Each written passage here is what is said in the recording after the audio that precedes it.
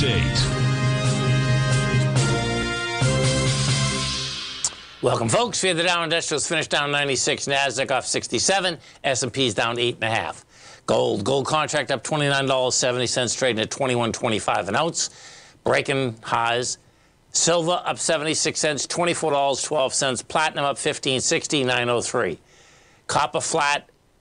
Oil down a buck 22, trading at $78.75 a barrel. Notes and bonds. 10-year note down seven ticks, eight ticks rather. 110.25. The 30 year down 14 at 119.19. And the 10 year right now, folks, is at 4.215. Now, check it out. For the last three months, the high is 4, 4.3, the low is 3.2. For the last six months, the high is 4.9, the low is 3.7. We're at 4.2. And King Dollar. King Dollar. Come on, don't you hiding on me. Where'd you go? Oh my God. I got to get this straightened out. DXY. There you are.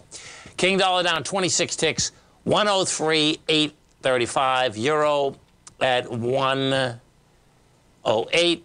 Yen at 150. British pound at 126. And we get over and take a look at this gold contract, folks, okay? Bottom line is that have, and this is what you like to see, you have two full days of wide price spread accelerated volume. We did 302,000 contracts on Friday. We did 307,000 contracts today. We get action here. Uh, and I believe this will be a closing high because we actually hit, there was a spike that we hit 2071, 2171. But at that, the day that it gave it up totally, went to 2171 and closed out at uh, 2000. 70 or something. It come down 100 bucks like in a heartbeat.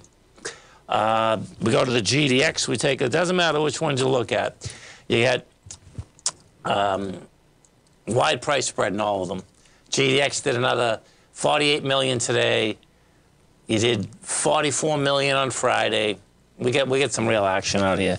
And then if you take a look at the GLD, the GLD broke all highs.